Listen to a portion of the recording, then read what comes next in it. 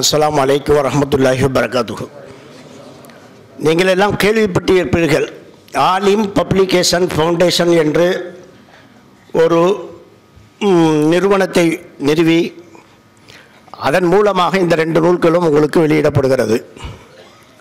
நாங்கள் எங்களுடைய மொழிபெயர்ப்பாளர் குழு குர்ஆன் மற்றும் ஹதீஸ் தப்சீர் மற்றும் நபிமொழி இந்த மொழிபெயர்ப்பிலே எங்களுடைய இருபது இருபத்தி நாலு ஆண்டுகளுக்கு செலவழித்திருக்கிறோம். அதை பெருமையாக சொல்வது சொல்லிக்கொள்ளலாம். அதில் ஒன்றும் தவறல்ல. எல்லாருக்கும் கிடைக்கக்கூடிய வாய்ப்பும் அல்ல. அல்லாஹ் எங்களை தேர்ந்தெடுத்து அந்த வாய்ப்பை தந்திருக்கிறான். அதற்காக அல்லாவுக்கு நாங்கள் நன்றி செய்ய கடமைப்பட்டிருக்கிறோம். சொல்லப்போனால் இந்த துறையில் அனுபவசாலிகளாக நாங்கள் இருக்கிறோம். இதை சொல்கிறத தற்பெருமையாக நினச்சா அதை பற்றி எனக்கு கவலை இல்லை. இந்த துறையிலே ஒரு அனுபவத்தை அல்லாஹு ஜல்லஷானுத்தால கொடுத்து விட்டார் அதனால்தான் ஆலிம் பப்ளிகேஷனுங்கிறத புதிய ஒரு அமைப்பை ஏற்படுத்தி அதற்கு நீங்கள் எல்லாம் டைரக்டர்களாக இருக்க வேண்டும் என்று தன்னலமற்ற ஐந்து சமுதாய பெரியவர்களை அணுகும்போது அவர்கள் வந்ததுக்கு காரணம் அதுதான். அந்த ஐந்து பேரும் எந்த விதமான தங்களுடைய தனிப்பட்ட ஒரு ஆசா பசங்கள் இல்லாமல் வேறு ஒரு லாபத்தை எதிர்பார்க்காமல் இது எப்படியும் மார்க்கத்துக்கு இவர்கள் உழைப்பால் செய்கிறார்கள் நாம் என்ன செய்ய வேண்டும் என்றால் நிதியால் செய்ய வேண்டும் என்ற ஒரு நல்ல நோக்கத்திலே வந்தார்கள். வந்து அனைவரும் சேர்த்து இந்த வேலையை செய்து கொண்டிருக்கிறோம். அல்லாஹுவின் பேருதவியால் இப்போது ரெண்டு நூட்கள் இதன் மூலம் வெளியிடப்படுகிறது. ஆனால் இப்போது வெளியிடப்பட்ட நூல் இருக்கிறதே அதாவது இறை தூதர் வாழ்வே இறுதி தீர்வு என்ற நூல் எங்களுடைய ப்ராஜெக்டிலே இல்லை. எதையும் சொல்லிடணும்ல. எங்களுடைய ப்ராஜெக்ட் வந்து முஸ்னத் அகமது தான். முஸ்னத் அகமதே அரபியில் எத்தனை இருக்குது தெரியுமா? பத்து பன்னிரெண்டு வால்யூம் இருக்குது பெருசு பெருசாக அறநூறு பக்கங்களை கொண்ட. தமிழில் வெளியிடணும்னா எத்தனை வரும் தெரியுமா? இருபது வரும். ஆரம்பித்து வச்சிருக்கிறோமே தவிர முடிக்கும் போது நாங்கள் இருப்போம்னு எங்களுக்கே தெரியாது. ஆமாம் ஆச்சுங்களா? அதனால் அதுதான் எங்களுடைய மெயின் ப்ராஜெக்ட்டு நபிகள் நாயகம் ஸல்லல்லாஹு அலிஸ்லமுடைய ஹதீஸ் தொகுப்புகளிலே முஸ்னத் அகமது ஒரு புதுமையானது. அதை மட்டும் நான் சொல்லிவிட்டு இந்த இதுக்கு வர்றேன். என்ன தெரியுமா? எல்லா புகாரி ஆகட்டும் முஸ்லீம் ஆகட்டும் மற்ற நூல்களாகட்டும் எல்லாம் பாடத்தலைப்புகள் ஒரு மாதிரி இருக்கும். உதாரணமாக இறை நம்பிக்கை அல் ஈமான் அஸ்ஸலாத் தொழுகை அஸ்ஸியாம் நோம்பு இப்படி சேப்டர் வாரியாக பிரிச்சிருப்பாங்க. ஆனால் முஸ்னத் அகமதில் இருக்கிற விசேஷம் என்ன தெரியுமா? அந்த மாதிரி தலைப்பே வராது. எப்படி வரும் தெரியுமா? அஷரத்துல் முபஷரா சொர்க்கத்தை நற்செய்தி சொல்லப்பட்டவர்கள் அறிவித்த நோ- ஹதீஸுகள் இது முதலாவது அத்தியாயம். அதில் பத்து பேர் இருப்பாங்க அஷரத்துல் முபஷராவில். ஆரம்ப பாடம் எப்படி இருக்குன்னு தெரியுமா? அபுபக்கர் சித்திக் ரலி இல்லாக அறிவித்த ஹதீஸ்கள் உமர் இப்னு ஹத்தாப் ரலி இல்லாக அறிவித்த ஹதீஸ்கள் உஸ்மானிபின் அஃபான் அறிவித்த ஹதீஸ்கள். இது எல்லா ஹதீஸ் நூல்களுக்கும் வித்தியாசமானது. ஒரு சஹாபி அறிவித்த அத்தனை ஹதீஸுகளையும் ஒரே இடத்தில் பார்க்கலாம். இங்கே போய் நீங்கள் தொழுகை நோம்பு சக்காத்து ஹஜ் வாரியாக பார்க்க முடியாது. ஆனால் நாங்கள் என்ன செய்கிறோம் அடிக்குறிப்பில் இந்த ஹதீஸில் கிடைக்கக்கூடிய வழிகாட்டல்கள் என்னது? அப்படிங்கிறத லேசை சுட்டி காட்டுவோம் இந்த அடிப்படையில் ஆயிரத்தி அறநூறு ஹதீஸுகள் கொண்டிருக்கக்கூடிய முதலாவது வால்யூம் தான் இப்போது உங்களுக்கு வந்திருக்கிறது. ஒன்றொரு விஷயத்தையும் நான் சொல்லிடுவோம் இந்த இதை நாங்கள் செய்யலை. ஆலிம் பப்ளிகேஷனில் இருக்கக்கூடிய நாங்கள் செய்யலை. வேற ஏற்கனவே எம்ஏ தமீம் பாய் அவர்கள் ரஹ்மத்து பப்ளிகேஷன் மூலமாக இந்த வாலியத்தை தேர்வு செய்து எழுதி வெளியிட்டு விட்டார்கள். நாங்கள் முஸ்னத் அகமதை தொடங்க வேண்டும் முதலாவது வாலியத்தை வெளியிட வேண்டும் என்று நினைத்த வேளையில் அவர்கள் வந்து அவர்களாக முன் வந்து சொன்னார்கள் எதற்காக ஏற்கனவே செய்யப்பட்டதை திரும்ப செய்யணும்? உங்களுக்கு நேரம் வேஸ்ட்டு எங்களுக்கு நேரம் வேஸ்ட்டு காசு வேஸ்ட்டு அதனால் நாங்கள் போட்டதை நீங்கள் திரும்ப என்ன செய்யுங்க போட்டுக்கோங்க. ஒன்றாவது வாலியத்தை அப்படி போட்டு தொடங்குங்க அப்படின்னு வந்து கேட்டுக்கிட்டு அதற்குண்டான உபகரணங்களையும் எங்கள் கையில் கொடுத்தாங்க. நாங்களும் யோசிச்சு பார்த்தோம் காலை எதுக்கு கால அவகாசத்தை வீணாக்கணும் என்று அதைத்தான் இப்போது உங்களுக்கு முன்னால் வெளியிடுகிறோம். எதையும் சொல்லிடணுமா இல்லையா? ஆ? அதனால் இங்கே நூலை விரித்து முஸ்னத் அகமதை விரித்து பார்த்தீங்கன்னு சொன்னால் எங்கள் பேர்லாம் இருக்காது. நீங்கள் என்னோட இந்த ஆளுகள்லாம் வந்து பேசினாலும் ஒருத்தர் பேர் காணாமேன்னு கேட்போம் கேட்கக்கூடாது. நாங்கள் செய்யலை. தர்ஜுமா செய்யலை. அதுக்கப்புறம் மேலாய்வு பண்ணலை. ஒன்றும் செய்யலை. அவங்க கொடுத்தாங்க. அதை வாங்கி அப்படியே கொண்டு வந்து வெளியிட்டிருக்கிறோம். கொடுத்ததுக்காக அவர்களுக்கு நாங்கள் இந்த விழாவிலே நன்றி தெரிவித்துக் கொள்கிறோம். அல்லாஹ் அவர்களுடைய ஈருலக வாழ்க்கையையும் சிறப்பானதாக அல்லாஹ் ஆக்க வேண்டும் என்றும் அவர்களுக்காக நாங்கள் பிரார்த்திக்கிறோம். இப்படிப்பட்ட ஒரு அருமையான நூல் எது? முஸ்லத் அகமதில் இருக்கக்கூடிய இன்னொரு விவகாரம் என்ன தெரியுமா? இமாம் அகமது பின் ஹம்பல் ரமத்துல்லாலே அவர்களே சொன்ன ஒரு தகவலை மட்டும் சொல்லிவிட்டு நான் விஷயத்துக்கு வருகிறேன். தங்களுடைய மகனிடத்தில் சொல்லுகிறார்கள். அவர் பேர் அப்துல்லா. அப்பா நல்ல முறையில் பாதுகாத்துக்க இந்த நூலை. ஏனென்றால் இது இஸ்லாத்தின் கருவூலமாக பிற்காலத்தில் விளங்க இருக்கிறது. என்ன வார்த்தை என்ன ஒரு தைரியம். அதை விட இன்னொன்று சொன்னாங்க அதுதான் எனக்கு ரொம்ப பிடிச்சது. முஸ்லீம் சமுதாயம் ஒரு ஹதீஸுக்கு தேடி அல்லது முஸ்லீம் சமுதாயத்துக்கு மத்தியில் ஒரு கருத்து வேறுபாடு உண்டாகி அதற்கு தீர்வை அது சொல்லக்கூடிய பதில் ரசூலுல்லா சொன்ன பதில் என்னவாக இருக்கும் என்று ஹதீஸுகளை தேடி நான் அவர்கள் என்னுடைய நூலை பார்க்கட்டும் முஸ்னத் அகமதை பார்க்கட்டும். ஒரு கால் அதிலே அவர்களுக்கு கிடைத்தால் சரி ஓகே. கிடைக்காவிட்டால் அவர்கள் தேடியது சரியான ஹதீஸ் அல்ல என்று அர்த்தம். சாதாரண விஷயமா அது? யாரால சொல்ல முடியும்? எப்படிப்பட்ட வாழ்க்கை வாழ்ந்திருந்தா சொல்ல முடியும்? சிறைச்சாலையிலே வாழ்க்கை வாழ்வையை வாழ்க்கையை கழிச்சவங்க அகமது பின் ஹம்பல். வாழ்க்கை புறம் தியாகம். இந்த தியாகத்தில் உட்காந்து எப்படியெல்லாம் இதெல்லாம் பண்ணினாங்கன்ட்டு எங்களை மாதிரி ஆட்களுக்கு ஏசியில் உட்காந்துக்கிட்டு வேலை பார்க்குறவங்களுக்கு ஆச்சரியமாக தான் இருக்குது ஏசியில் உட்காந்து தான் பார்க்குறோம். எங்கள் காலம் அப்படி? நாங்கள் என்ன இளவு செய்கிறது அப்படி உசு புசுன்னுக்கிட்டே உட்காந்துருந்தால் மண்டையில் வேலை பார்க்கணும். ராகத்தான் இருக்கணும் அப்போ தான் வேலை செய்ய முடியும். அப்புறம் ஏசியில் உட்காந்து வேலை பார்க்குறீங்க ஏசியில் உட்காந்து வேலை பார்க்கணுன்னா அப்படி தான் பார்க்க முடியும். எங்கள் காலம் அந்த காலம் இதை சொல்லிக்கிறதுல எங்களுக்கு ஒன்றும் வெக்கம் இல்லை சரிங்க வெறும் இதே வச்சுக்கிட்டு உட்காந்து ஏதாவது ஒரு மூலையில் அவங்க மாதிரி வேலை செய்யணும்ட்டா ஒரு பாகம் வெளியே வராது. அப்பொழுது ஒரு வருஷத்துக்கு ரெண்டு வருஷத்துக்கு மூணு வருஷத்துக்கு ஒரு பாகம் வேண்டாம் வரும். அப்படிப்பட்ட காலம். அவங்க ஒரு வசதியும் இல்லாத ஒரு காலத்தில் உட்கார்ந்து கொண்டு தங்களது வாழ்க்கையவே முழுசாக அர்ப்பணித்து செய்துவிட்டு தாங்கள் செய்த அந்த சேவையின் மீது அவங்களுக்கு இருந்த நம்பிக்கை போலித்தனம் அல்ல. இந்த நம்பிக்கை இல்லாவிட்டால் இந்த வார்த்தை அவர்கள் சொல்லி இருக்க முடியாது. அவர்கள் தேடி வந்து என்னுடைய நூலை பார்க்கும்போது அதிலே தேடியது அவர்களுக்கு கிடைக்காவிட்டால் அவர்கள் தேடியது நிச்சயமாக எதாக இருக்காது. சகிகான ஹதீஸாக இருக்காதுன்றாங்கடா. எப்படிப்பட்ட நூல்? எல்லாம் வந்துருங்க. புகாரி ரமத்துல்லா அலஹி அகமது பின் ஹம்பலுடைய மாணவர். விளங்கியங்க. முஸ்லீம் ரமத்துல்லா அலஹி அகமது பின் ஹம்பலுடைய மாணவர்.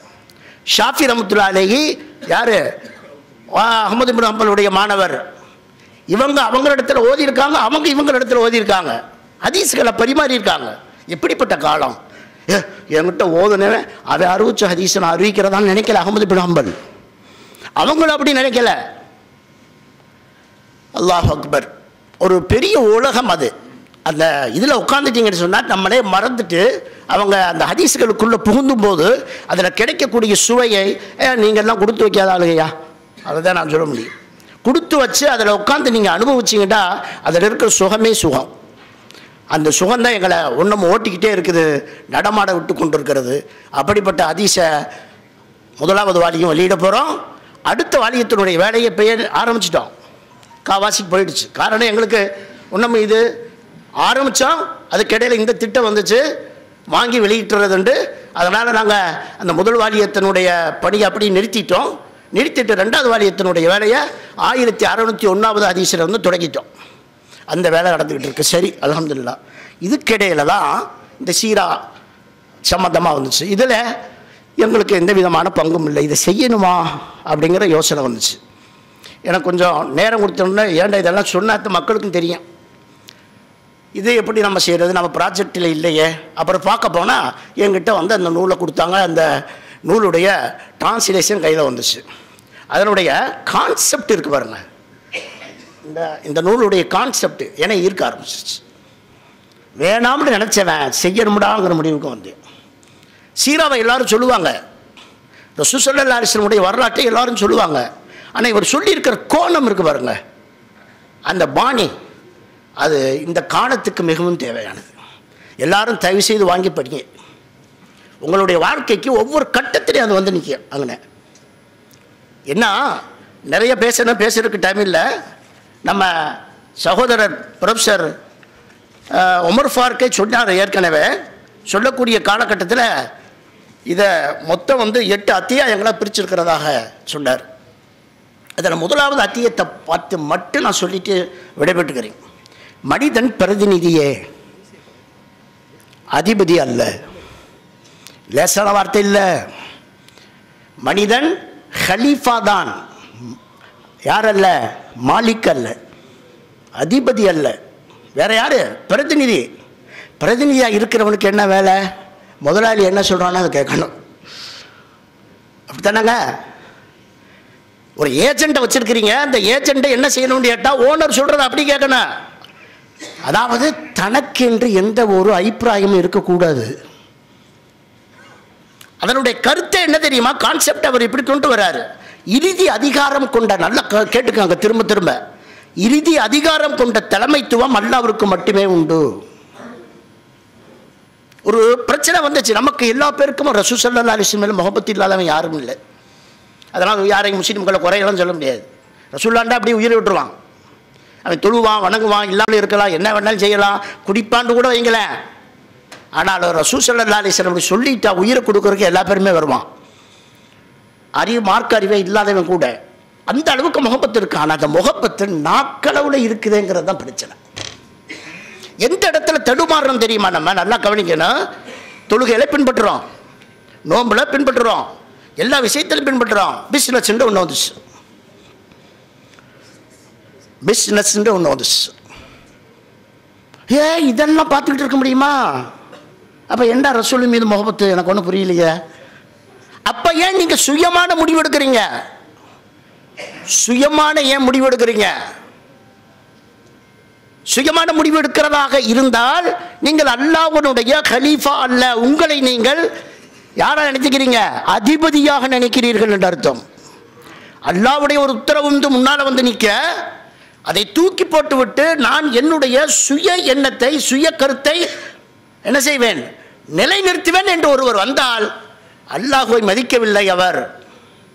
அல்லாவின் பிரதிநிதி என்பதை மறந்துவிட்டார். தன்னையே அதிபதியாக நினைத்து கொண்டார். இல்லையா? இங்கே தான் யாருக்கு கோபம் வந்துச்சு தெரியுமா? குறைஷிகளுக்கு கோபம் வந்துச்சு. நீ சொல்கிறதெல்லாம் ஏற்றுக்கலாம்ப்பா இந்த அதிபதி அதுக்கப்புறம் அதிபதி இல்லை அப்படி இப்படிலாம் பேசுகிறேல இது வந்து ஒத்து வராதுப்பா நமக்கு. ரசூல்லாட்ட அவங்க சொன்னது அதுதான். குடிக்கக்கூடாதுன்றாங்க அதை செய்யக்கூடாதுன்றாங்க நல்ல காரியத்தை சொன்னாங்க. அல்ல அமீன்கிற பேர் வாங்கியிருந்தாங்களேங்க உங்களுக்கே தெரியும். ரிசாலத்து கிடைப்பதற்கு முன்னால் அமீனுங்கிற பேர் அவங்களே தானே கொடுத்தாங்க. எந்த காப்பிர்கள் மறுத்தார்களோ பிற்காலத்தில் அவங்களே கொடுத்து பட்டம் கொடுத்து அவர்களுக்கு எல்லா விதமான மரியாதையும் செஞ்சாங்க உங்களுக்கு தெரியும். ஒரு தடவை கௌபா இடிபட்டு திரும்பி கட்டி ஹஜருல் அஸ்வதை கொண்டு போய் வைக்கிறதுக்கு யார் தகுதியானவருங்கிற பிரச்சனை வரும்போது யாரத்தை முன்னிறுத்தினாங்க? சின்ன வயசில் இருந்த முகமது சல்லா அலிஸ்லாம் தான். காரணம் ஹுவல் அமீன் ஹுவ சாதிக். அப்படி இருக்கக்கூடியவங்களுக்கு பிடிக்காம போனது காரணம் என்ன தெரியுமா? என்னடா இது பிஸ்னஸ் பண்ணாலும் உனக்கு சட்டம்ங்கிற அதை பண்ணாலும் சட்டங்கிற இதை பண்ணாலும் சட்டங்கிற எதுக்கு எடுத்தாலும் சட்டங்கிற எங்களுக்குன்னு ஒரு சுயமான எண்ணம் இருக்காதா? சுயமான அறிவு இருக்காதா? சுயமான யோசனை இருக்காதா? எல்லாத்துக்கும் நீ அல்லா அல்லான்னு சொல்லிக்கிட்டு இருந்தா என்ன அர்த்தம்? இதுதான் பிரச்சனையே. நமக்கும் இதுதான் பிரச்சனையே. தொப்பி போட்டுக்கிறோங்க தொழுகிறோங்க எல்லாம் செய்கிறோங்க இந்த எல்லா விஷயத்தையும் வட்டி வாங்காதங்கிறீங்க. வட்டி கொடுக்காதங்கிறீங்க. நிலுவையில் மோசடி பண்ணாதங்கிறீங்க. என்னாடு தான் பிஸ்னஸ் பண்ணி என்னாடு தான் பிழைக்கிறது. இதுதான் நமக்குள்ள பிரச்சனை. அதனால் அல்லாவிற்கு மட்டுமே உரித்தானதுங்கிறத விட்டுட்டு சுய விருப்பத்துக்கு மு- முதலிடம் கொடுக்கறது மிகப்பெரிய தவறு. என்ன செய்யணும்? சுய விருப்பத்தை முறித்து போட்டு விட்டு முடிஞ்சு. சுய விருப்பத்தை முறித்து போட்டு விட்டு உல்லாச வாழ்க்கைக்கு முற்றுப்புள்ளி வைக்க வேண்டும் என்று அவர் தனது நூலிலே வலியுறுத்துகிறார். இது முதல் அத்தியாயத்தில் இருக்கக்கூடிய விவகாரம். நிறைய இருக்கு விஷயம். சொல்றதுக்கு நேரம் இல்லை. இறைவனின் ஆணைக்கு மட்டுமே தலை வணங்குவேன் என்ற பிடிவாதம் வேணும். ஒரு முஸ்லீம் இடத்துல.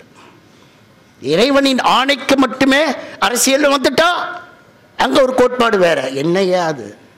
அரசியல்னு வந்துட்டா பொருளாதாரம்னு வந்துட்டா குடும்பம்னு வந்துட்டா தலைமைத்துவம்னு வந்துட்டா ஒவ்வொன்றையும் யாரை யாரையோ பின்பற்றிக்கிறோம். அதுக்கப்புறம் ரசூல்லா மேலே எனக்கு மகபத்து இருக்குங்கிறோம் போலித்தனமான முகபத்து இல்லை. போலித்தனமான களிமா இல்லை. அதை அழகாக விளக்குறாரு. அதில் அவர் சொல்லக்கூடிய காலகட்டத்தில் ரெண்டே ரெண்டு விஷயத்தை ரொம்ப வலியுறுத்துவார். மதுவையும் வட்டியையும் வளர்க்கிறார் மதுவையும் வட்டியையும். அதெல்லாம் உங்களுக்கு தெரியும். மதுவினுடைய பிரச்சனைகள் என்ன? எத்தனை பேர் சாகுறாங்க? ஒரே ஒரு விஷயத்தை ஒரு புள்ளி விவரத்தை நான் சொல்லிக்கிறேனே. அமெரிக்காவில் ஆண்டுதோறும் ஒரு லட்சம் பேர் மதுவால் மடிகிறார்கள்.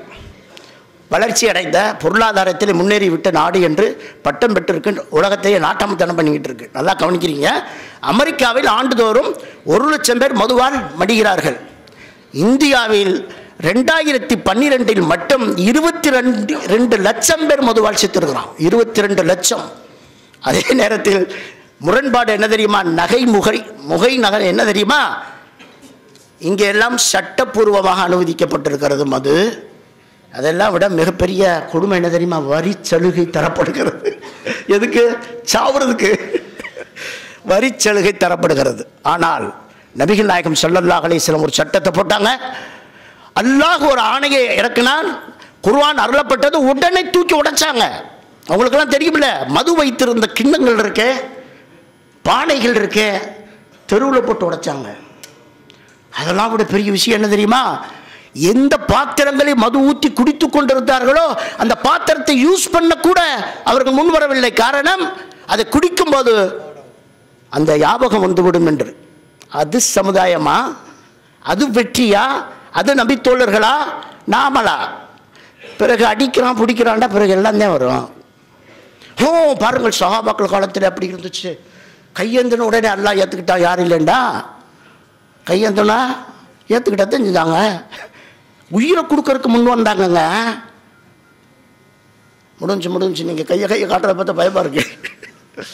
அதே மாதிரி வட்டி. ஒரே உத்தரவில் வட்டியை தூக்கி போட்டு மிதிச்சாங்க. ரசூ சல்லா அலிஸ்லம் என்ன பேசுனாங்க தெரியுமா? யா- என் வட்டியை இத்தோடு விட்டு விடுங்கள். அல்லாஹும் ஆயத்தை இறக்கலாம் முதல் மட்டும் உங்களுக்கு. இனிமேல் கொடுத்த வட்டியை எல்லாரும் விட்டு விடுங்கள் என்று சொல்லிவிட்டு தங்களுடைய பெரிய தகப்பனார் அப்பாஸ் அலி இல்லாஹுத்தலானு அவர் நிறைய வட்டி எல்லாம் கொடுத்து நிறைய வேலை பார்த்தவர். அவர் கொடுத்திருக்கக்கூடிய அவருக்கு கொடுக்க வேண்டிய வட்டியை இதோ இந்த இடத்தில் எனது பாதத்துக்கு கீழே போட்டு மிதிக்கிறேன்ட்டாங்க ரசூல்லா பிரகடனப்படுத்தினாங்க சொன்னதோட நிறுத்தல தனது ஃபேமிலியில் யார் அதை செஞ்சுக்கிட்டு இருந்தாங்களோ அதை நடைமுறைப்படுத்துறதாக பிரகடனப்படுத்தினாங்க உடனுக்குடனே நின்றது. இன்னைக்கு என்ன ஆகுது அமெரிக்காவில் லட்சக்கணக்கான சேமிப்புகளை காலி செய்துவிட்டு வீடு இல்லாமல் இருக்க வைத்த கொடுமை ரெண்டாயிரத்தி ஏழில் ரெண்டாயிரத்தி பத்தில் நடந்துச்சு. இதெல்லாம் எதிலிருந்து எடுத்துன்னு தெரியுமா? இந்த நூல்ல இருந்து எடுத்து இந்த மாதிரி தகவல்லாம் உங்களுக்கு கிடைக்கும். லேசான விஷயம் அல்ல. சூப்பர் புக்கு ரசூசல்லாலிசனுடைய வரலாறு வரலாறு வாழ்க்கைக்கு வழிகாட்டணுமா இல்லையா? மெச்சிக்கிட்டே உட்கார்ந்திருந்த போதுமா? உள்ளத்திலே முருகத்தை வைத்திருக்கிறேன் என்று சும்மாவது சொல்லி கொண்டிருந்தால் என்ன அர்த்தம்? வாழ்க்கையில் ஒவ்வொரு கட்டத்திலும் ஒவ்வொரு அடியிலும் ஒவ்வொரு துறையிலும் ஒவ்வொரு மூச்சிலும். யாரை பின்பற்றணும்? நபிசல்லா அலிசன் பின்பற்றணும். இதுதான் உண்மையான உம்மத்துக்கு அடையாளம் என்று ஒரு எட்டு தலைப்புகளை கொடுத்து அழகாக பேசுகிறார். எனவே தான் அந்த கோணம் பிடித்தது. அதனுடைய கான்செப்ட் பிடித்தது. அப்போ உட்காந்து பரிசீலனை பண்ணும்போது சில சிக்கல்கள் வந்துச்சு. அதையும் சொல்லிடுறேன் என்ன? சில சம்பவங்கள் இருக்கு ஆதாரம் இல்லை. ஆதாரத்தை தேடினோம் தேடின ஆதாரங்களை போட்டோம். தேடாத ஆதாரங்களை கேட்டோம். யார்கிட்ட? பேசினார் பாருங்க இதில். அவர்கிட்டே கேட்டோம். இருக்கிற ஆதாரங்களை போடுங்க இல்லாததை விட்டுருங்கன்ட்டார் அப்புறம். தூக்கிட்டோம். ஏண்டா? ஒரு விஷயத்தை நான் பிரகடனப்படுத்திக்கிறீங்க. எல்லா பேருக்கும் என்ன தெரியுமா? ஆதாரம் இல்லாத ஒரு சின்ன தகவலை கூட ஏற்க மாட்டோம். அதில் பிடிவாதமாக இருப்போம். எங்களை என்ன நீங்கள் திட்டினாலும் சரி. அதே மாதிரி நூலுடைய தரம் இருக்கு பாருங்க தரத்திலே சமரசம் செய்து கொள்ள முடியாது. எல்லாரையும் வைத்துக்கொண்டு சொல்கிறேன். சமரசம் செய்து கொள்ள முடியாது. அதனுடைய தரம் படிக்கும்போது அவர்களுக்கு புரியது ஆதாரங்கள் இருக்கிறதாங்கிறத பார்க்கறது சரி பார்க்கறது இது எல்லாம் வேணும். அதையெல்லாம் சரி செய்யும் அதனால் இப்போ நீங்கள் தாராளமாக இதை எங்கேயும் எடுத்து பேசலாம். நீங்கள் பயப்பட வேண்டிய அவசியம் இல்லை. அதே மாதிரி அதில் இருக்கக்கூடிய சில ஹதீஸுகளுக்கு உண்டான மொழிபெயர்ப்பு ஆயத்துக்கு உண்டான மொழிபெயர்ப்பு எங்களுடைய ஸ்டைலில் ஏற்கனவே வெளியிட்டிருக்கோம்ல அதிலெல்லாம் கொண்டு வந்து அதை கொண்டு வந்து போட்டோம். அதனால் அது சுத்தமாக அழகாக இருக்குது நீங்கள் பார்த்தீங்கன்னா கீழே ஃபுட் நோட்டில் ஆதார நூட்கள் தரப்பட்டிருக்கும். அதனால் நீங்கள் ஒன்றும் பயப்பட வேண்டிய அவசியம் இல்லை. தாராளமாக இதை எங்கேயும் எடுத்து பேசலாம். இங்கே வந்திருக்கிற உலமாக்களுக்கு கேட்டுக்கொள்வேன். இதை நீங்கள் உங்களுடைய குறிப்புகளிலே வைத்துக் கொள்ளுங்கள். நல்லா உதவும். ரசூசல்ல லாலிசனுடைய வரலாற்றை எடுத்துச் சொல்லக்கூடிய காலகட்டத்தில் வெறும் வரலாற்றோடு நிற்காமல் இந்த கால வாழ்க்கை நிஜ வாழ்க்கையோடு ஒப்பிட்டு பார்த்து அதை நீங்கள் பேசினீர்கள் என்றால் மிக நன்றாக இருக்கும். எனவே இந்த நூலை ஆலிம் பப்ளிகேஷன் சார்பாக வெளியிடுவதிலே நாங்கள் மிக பெருமையடைகிறோம். அதற்காக பாடுபட்ட அதை எழுதியவர் அதற்கு மொழிபெயர்த்த சகோதரர் எல்லாத்தையும் விட இதை எங்களுக்கு கொண்டு வந்து அறிமுகப்படுத்தினவர் யார் தெரியுமா? அதை சொல்லணுமா இல்லையா? அதை மட்டும் சொல்லிட்டு முடிச்சுக்கிறேன். எங்கள் நிர்வாக குழுவிலே உறுப்பினராக இருக்கிறவங்க கொஞ்சம் இங்கிட்டு வாங்க. அட வாங்க சார். இவர் பேர் முகமது இப்ராஹிம். என்ஏஎஃப் நாஃப் என்று சொல்லி ஒரு அமைப்பை ஏற்படுத்தி நிறையா தர்ம காரியங்கள் செய்து கொண்டிருக்கார். இவர் அவர் யாவர் பேக்கு பார்த்தீங்களா இல்லையா? அவரோட மாணவர். அவரிடத்தில் பயிற்சி பெற்றவர். பயிற்சி பெற்று கடைசி அவருக்கு இவர் மாணவரம் ஆகிட்டார் அவர் இவருக்கு உஸ்தாத் ஆகிட்டார் ஆகிட்டு என்ன செஞ்சாருன்னா அந்த நூ- நூலுடைய தமிழாக்கத்தினுடைய முழு பொறுப்பையும் யார் கையில் கொடுத்துட்டா. அவர் கையில் கொடுத்துட்டாரு அவர் காசும் கேட்கல அதுக்காக. அதுக்காக கிடைக்கக்கூடிய சவாபை நீங்கள் வச்சுக்கிறலாம் என்னான்னு கேட்டால் மக்கள்கிட்ட கொடுக்கும்போது அடக்க விலையில் கொடுங்க. மக்கள் தலையில் சும்மா வைக்காதுங்கன்னு சேர்த்து சொல்லியிருக்காரு. அந்த மனுஷன்? அந்த அடிப்படையில் அவர்தான் எங்களுக்கு இந்த நூலை கொண்டு வந்து அறிமுகப்படுத்தி செய்ய வேண்டும் என்று போட்டு அழுத்து அழுத்து நாங்கள் ஏதோ உட்காந்துக்கிட்டு துபையில் இருந்தோம் குவைத்தில் இருந்தோம் அப்பப்போ நெரிச்சிக்கிட்டே இருந்தவர். இல்லாவிட்டால் இந்த நூல் இவ்வளோ சீக்கிரம் வந்திருக்காது. அதனால் அவருக்கு குறிப்பாக நாங்கள் இந்த பப்ளிகேஷன் சார்பாக நன்றி தெரிவிக்க கடமைப்பட்டிருக்கோம். எங்களில் ஒரு ஆள் தான். நன்றி செய்ய தெரிவிக்க கடமைப்பட்டிருக்கோம். நீங்கள் எல்லாம் வாங்கி என்ன செய்ய வேண்டும் என்றால் படிக்க வேண்டும். நாங்கள் உங்கள்கிட்ட பிச்சைலாம் கேட்கல. யாரும் உங்கள்கிட்ட தர்மம்லாம் கேட்கல. நீங்கள் என்ன செய்யுங்க? வாங்கி படித்து நல்ல முறையில் நடங்கன்னு சொல்கிறோம் இது தப்பாயா? உலகத்தில். மார்க்கத்தை கூப்பிட்டு மார்க்கத்தை எடுத்து சொல்லி படிங்க படிங்க அதை பண்ணி நடங்க நல்லவங்களாகிறீங்க துன்யாவிலும் சரி ஆக்கிரத்திலும் சரி நல்லவங்களாகிறீங்க ஆனால் என்ன? இந்த ஆடி பப்ளிகேஷனில் உங்களுடைய பங்களிப்பு வேண்டுமென்றால் அதற்கு இன்ஷால்லா பின்னால் ஒரு மடக்கோலை உங்களுக்கு தருவோம். உங்களுக்கு விருப்பம் இருக்குமானால் அதன்படி நீங்கள் தாராளமாக இவங்களுடைய பங்களை சேர்ந்து இதனுடைய நன்மையும் நீங்கள் அடையலாம். அல்லாஹ் இடத்திலே அனைவரும் துவா செய்யுங்கள். மேமேலும் இந்த ஆலிம் பப்ளிகேஷனில் இருந்து நிறைய நூல்கள் வெளிவர வேண்டும். அதை செய்வதற்கு அல்லாஹ் எங்களுக்கும் தாக்கத்தை உடலே சக்தியை தர வேண்டும். இந்த கூட இருந்து வேலை பார்க்கக்கூடிய நிர்வாக குழு மக்களுக்கும் நல்ல எண்ணத்தையும் நல்ல சிந்தனையும் கொடுத்துள்ள வேண்டும் என்று கேட்டுக்கொண்டு வந்து திரளாக குழுமியிருக்கிற உங்கள் அனைவருக்கும் நன்றி தெரிவித்துக் கொண்டு விடைபெற்றுக் கொள்கிறேன். அஸ்லாம் அலைக்கு வரமத்துல்லாஹி வபரகாத்துஹு.